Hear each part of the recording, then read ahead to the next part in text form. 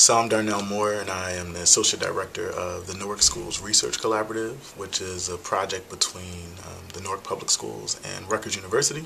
Today, I guess what I want to say a little bit about is um, violence and its connection to youth. I should start off by saying I grew up in a city that was touted as one of the worst in the nation um, in terms of economics and its uh, rates of violent incidences, and that's Camden, New Jersey. So I guess before I can talk about my experience as an adult professional, I can talk about what it meant for me to grow up as a black male um, in Camden. And I guess my experience then tells me a couple things are pressures that, that really results in youth being uh, turned on to violence. Uh, lack of access to activities um, in communities. Um, and also the pressure to live up to images, particularly for black males, um, that are presented to us through the media and through our families. So in terms of the latter, um, I think for youth, um, particularly youth of color, we are presenting as adults and through the media outlets that we provide, through what they see on TV, through the music, we present them with these um, caricatures or these models um, that aren't healthy for them. So you have black males who feel that they need to perform a thug behavior.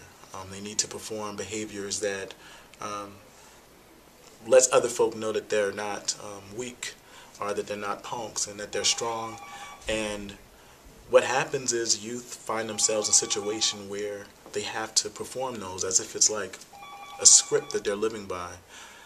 I don't blame youth so much for that. I think it starts in the home. So the moment that, um, for instance, you have uh, a young man or something who's crying in the home and you have a mother or father who says something like, wipe the tears off your face um, and be a man, be strong, is a moment that we as adults institutionalize in youth's mind this idea, particularly males, that they need to be strong. And an example, I remember being um, part of a violent fight on my street. And uh, I remember running up the stairs and someone had pulled out a gun. And I was scared to death. Like you have a gun in your face, you're scared, and my stepfather's there. And my instant reaction is to freak out. And tears came out of my face, and I remember him saying, and I'm, sure he didn't even mean anything by this, stop crying, be a man and be strong. And I kept thinking, you know, in my mind, that he, about to kill me that was a, a, father figure who said that to me. But we also hear that through um, through the movies we watch, through our friends in the street, through the teachers in our schools, through through through various outlets. So if you're a youth out there and you hear you're hearing all of these different um, messages um, that that are sort of attempting to to conform, like help you to conform to these images. I think the first thing that we have to tell you is that you don't you can be yourself you know, it's okay for a male to cry. It's okay to to not, um, you know, fight back in a class out of fear that somebody else is going to think that you're a punk. It's actually a stronger and more brave thing to not return evil for evil. So our job is also, I think, and I'm and I'm talking to adults here now, is to think about how we, even while we're telling youth not to be violent, we ourselves are, you know, we help, we we sort of produce these behaviors in our youth by the things that we tell them. And then we live in a country that's violent. So while we're on the streets telling folk not to fight, you know, we're also a country that, that's at war. This problem is it's, it's about all of us, and all of us are implicated in it. As adults, we need to monitor what we're teaching our kids from the time they, they come, you know, they show up in our homes. What words are we giving them? What what sort of how are we teaching them to behave and orient themselves in the world?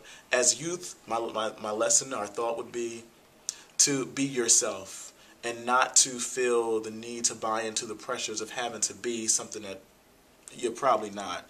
Um, be a human being. You don't have to be a strong. You don't have to be a strong man or a girl, a, a, a, young woman of color on the street, and think that you need to be a beast or somebody that's able to fight and fend for yourself be the loving person that you're created to be.